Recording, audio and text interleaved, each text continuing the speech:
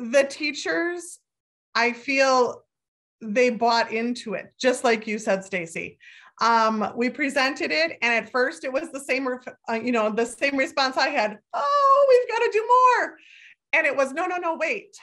This really is going to be work on me, and I'm going to help you through this. I said the amount of work that you're going to do is all stuff that we should be doing or could be doing anyway.